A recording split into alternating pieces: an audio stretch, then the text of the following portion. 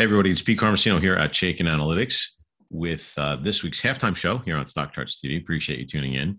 Um, you know, first and foremost, we'll talk about the geopolitical events that are happening uh, between Israel and Hamas and Gaza, and it's a terrible thing. Um, it's so terrible that it's just, it's just incomprehensible and really just no comments are necessary here. We all we are all think I think we're all feeling the same way. So, um, you know, we do have to continue doing what we're doing here, but you know, we are thinking of those that are suffering right now. So, without further ado, let's talk about what's going on in here in the market. Um, an incredible rally here, um, which most had thought would not happen, um, but those folks would be mistaken. Unfortunately, in an odd and almost counterintuitive way, markets do react positive to, positively um, to major conflicts.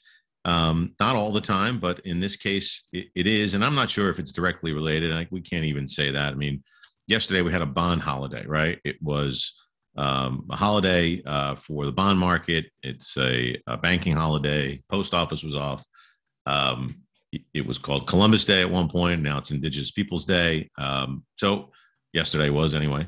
And what happened was, you know, you saw the TLT and some bond products um, move up in price, which had pushed yields down. Now, everyone's saying that that's what's pushing stocks higher. Um, and maybe they're right. I, I, don't know. But what I'm saying is, is that um, you know it's really uncertain at this point. So I did have a near-term target on the upside here in the S&P.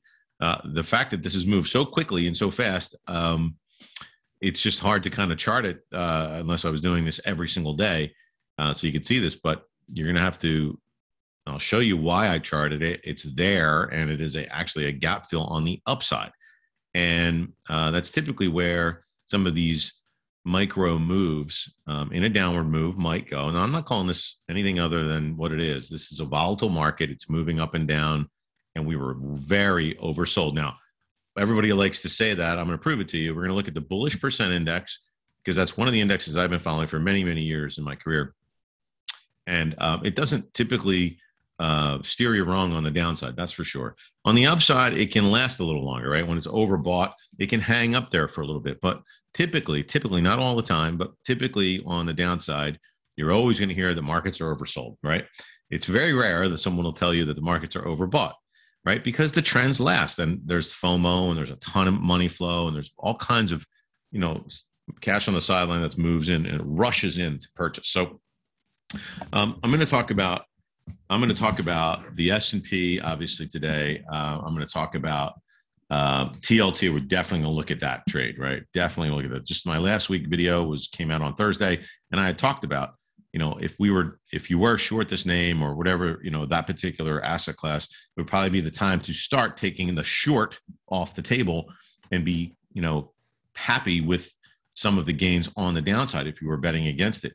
Now it got very close to my target of eighty dollars. I had a range seventy-five to eighty to be fair, but eighty was the top of that range because it was really the high uh, back in 2008. So we'll look at that as well. Uh, I am going to look at some the bullish percent indexes of the S&P, the Nasdaq 100, and the info information technology as well. I want to look at natural gas because that looks like it's interesting. The ETF itself, UNG, is actually starting to creep up and you can only imagine why if there's tensions in the Middle East, especially if other Middle Eastern countries are involved, natural gas could spike in price based on all kinds of things that could possibly go wrong uh, overseas, right? So Europe is obviously an importer of natural gas. They get a lot of gas from Russia still, believe it or not. Uh, they get a lot of gas from Norway. They get a lot of gas from Argentina, and they get a decent amount of gas from us, but not a lot. So um, in our area, we can probably produce a heck of a lot more uh, liquefied natural gas and start getting it over there. But the point is, is that at what cost, at what price? And obviously, that means if there's a shortage, the price is going to go up. So we're going to look at UNG. I think that's breaking out right now. And uh, and there's some names that I'd screen for today that I think you should fade. Again, I'm not against the market. I'm just looking at the names that are already broken down. They're already in lower rated uh, on the power gauge rating here at Chaikin, and they're already have they already have a negative relative strength, but they moved up in price recently, and those names are you know names that you can probably fade. So let's dive into these charts and see what's going on today. All right, folks, let's start here with sort of the uh, granddaddy of uh, bullish percent. It's the New York Stock Exchange bullish percent index. a lot of folks track this. It's a larger, you know, composite of names and maybe a better look at the overall market. Then we'll look at the S&P 500 and the Nasdaq 100 as well. But when you get into this range, it's 30 to 35 range. You know, 30 is definitely oversold. You can see my green line here is around 30. My red line is about 70. That's typically the range it falls into. When it gets below that range, you're certainly considered oversold. But if you get close to it, and uh, where we are today, or were in the last couple of days, is definitely oversold, right? So there's a lot of opportunity there. You can see where how far it went on on in in the pandemic in 2020 was all the way down to six percent. That was literally six percent of stocks on the New York Stock Exchange had any kind of buy signal on it.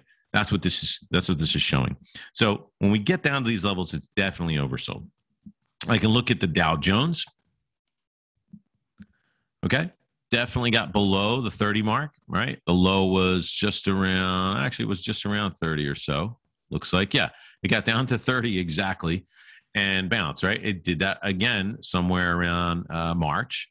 And, you know, it typically does that unless you run into, you know, major sell offs like we did last year, or again, the pandemic, which you can see all the way down here, where it was almost no stocks in the Dow um, were were had any kind of signal on. So that was obviously extremely oversold. So keep this in your back pocket. If we ever get those capitulation days and you start to see this get into the 20s and the 10s and single digits, you know, you know you're getting close to a bottom and there's probably going to be a bounce. Now, that's on the Dow Jones, right? That's just 30 stocks. Let's look at the S&P right now. Okay, how about the S&P? Same look to it, right? Another oversold condition got below 30. That was actually a better indicator than most at this point. RSI is oversold. I don't have the RSI on all of them, but you know I do have them on a couple. And if you look back here again, look where it was in 2020. I know I'm talking about something that rarely happens here at a one percent level. Uh, you know it's oversold, and even down here, like when these get to you know close to that 10 or even single digits levels, you know you're oversold, and so there's probably going to be you know a bounce. So you see the strategists and everybody talking about you know we're oversold, we're oversold this is part of what they're looking at, not completely, but this is another factor. Now let's look at the NASDAQ 100. Okay. NASDAQ 100 right here. Uh, now, this did not get down to that level. That's pretty interesting. Don't forget, you know, we got the Magnificent Seven in there.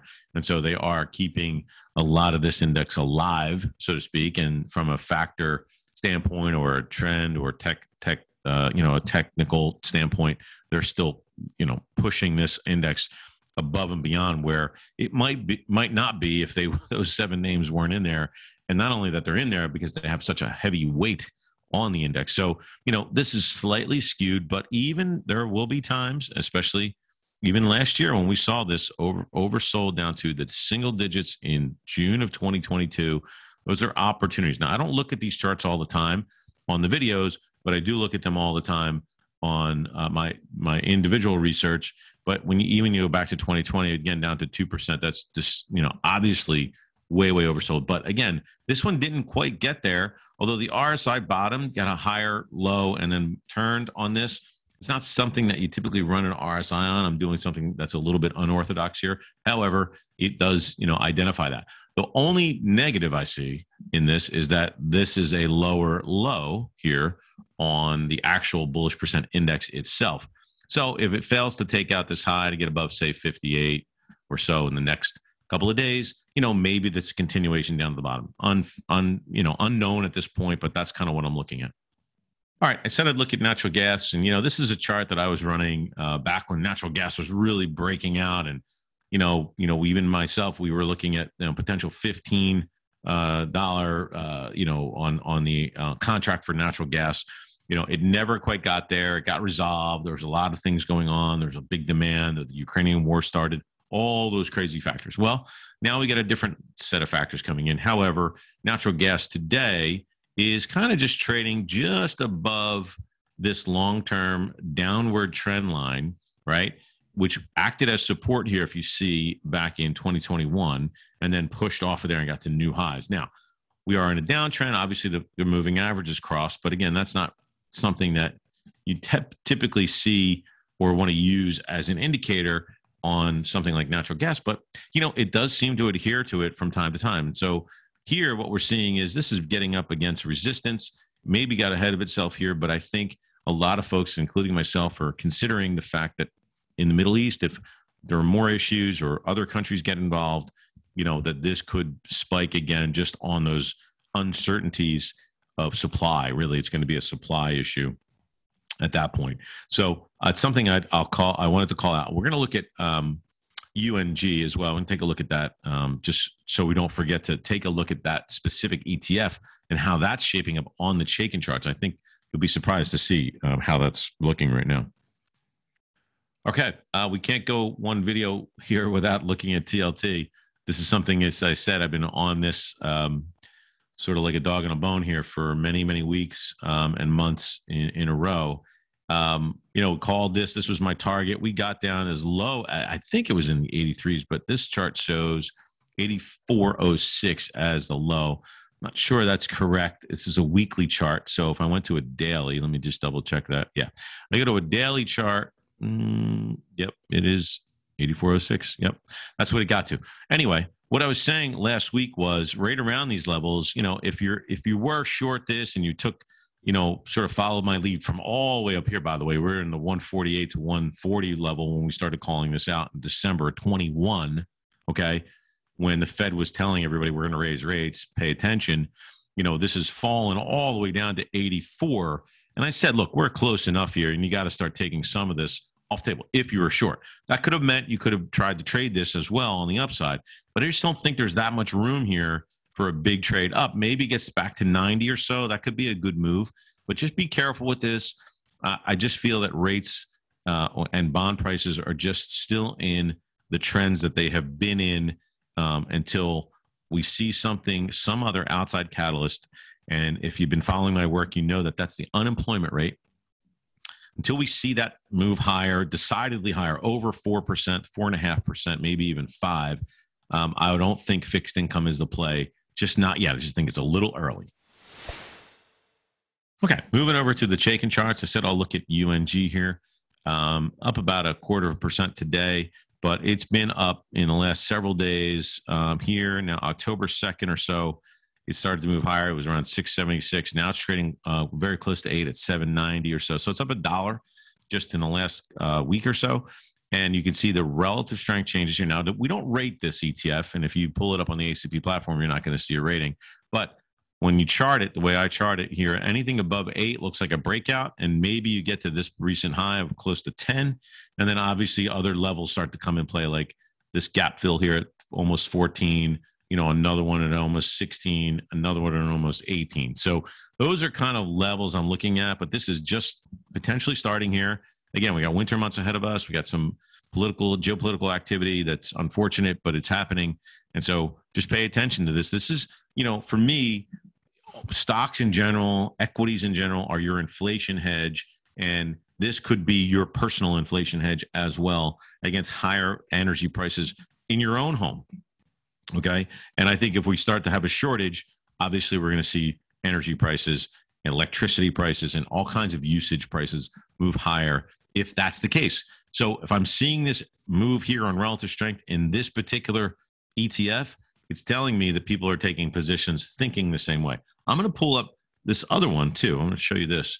It's called the United, Ga- uh, United States Gasoline Fund. Now this has been, you know, rolling over, right? It's going the other way. So you start to see that, and you you know that was the pullback in oil. If I pulled up USO, it'll be a very similar chart to UGA. This is more of an oil ETF. You see what I'm saying? The pullback. So oil and gas follow. Now, natural gas is its own little breed of of of commodity. Um, although it is a byproduct of oil, um, there are you know stockpiles of that, and obviously, if there's any kind of shortage, you know we, we could see you know uh, better prices ahead.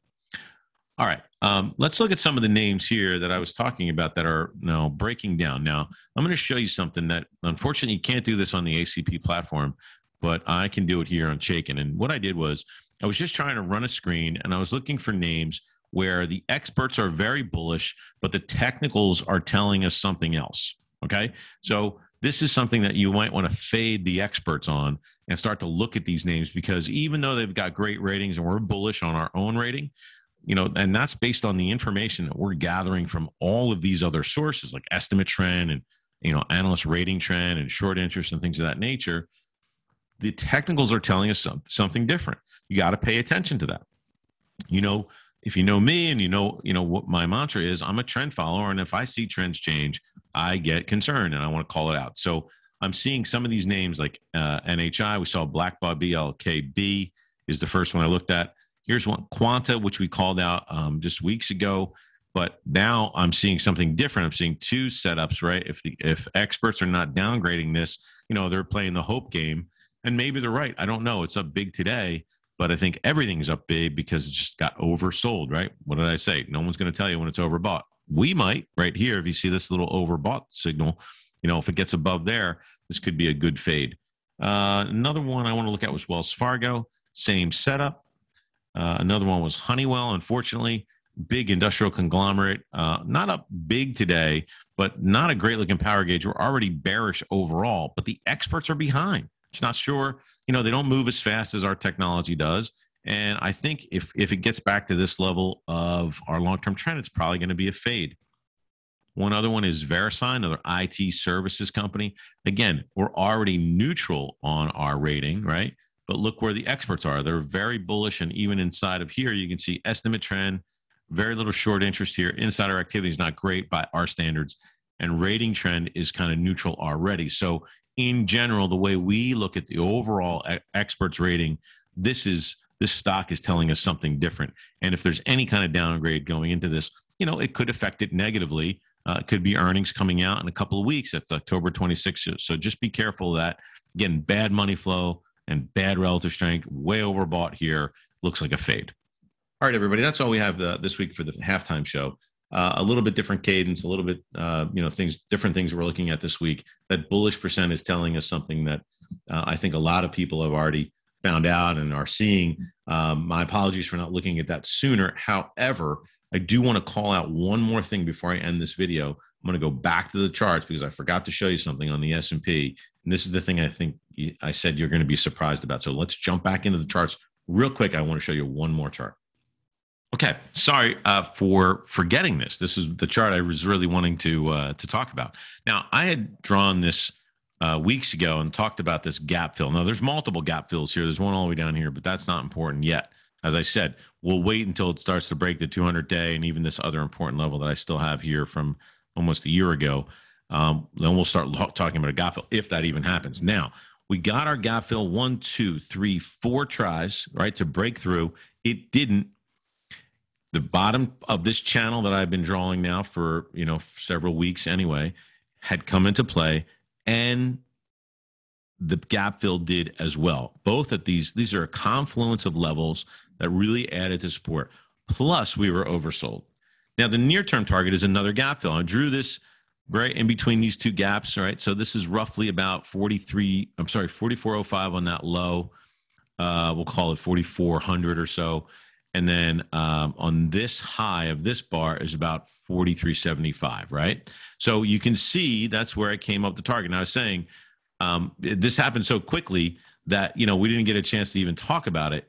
Um, that that you know on, on a lot of the videos. But my point to this is is that if we get anything above here, I'm just not sure it's sustainable. And again, if we do and we start to break these recent highs, if we can get above 4,600, you know, now we're talking or 4,540 or so. But there's that recent high of about 4,607 or 4,600. And maybe, just maybe, very possible, it takes us to higher levels on the upper side, upper side of that channel. I just don't know if it's going to get through this area here. We got to wait and see. So um, don't play FOMO here. Wait. You know, even if it gets above here, it's likely it could turn back, and this could be support, and that could be a good entry as well if you're looking to add to any of your equities.